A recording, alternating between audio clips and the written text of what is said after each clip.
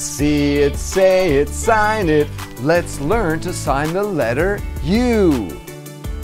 This is how you sign the letter U.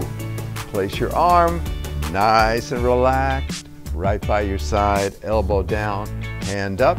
Now take your pointer finger and your middle finger and make a peace sign. All right. Now take those two fingers and place them together. Like that. That's how you sign the letter U.